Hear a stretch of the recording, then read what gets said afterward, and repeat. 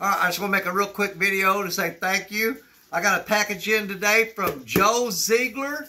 I just got home from skipjack fishing, and I cracked this open, and go on, Cotton. And Joe sent me two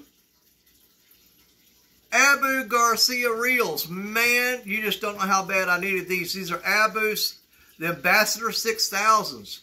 He sent me that one there. And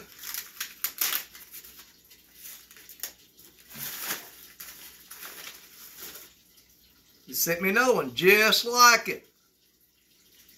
Love them. Love Abu Garcia.